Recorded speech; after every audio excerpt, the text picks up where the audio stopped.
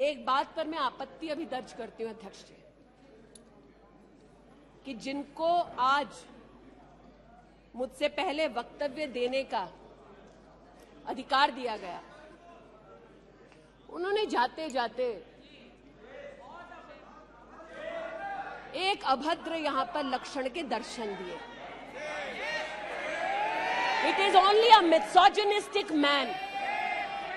who can give a flying kiss to a parliament with seats female members of parliament.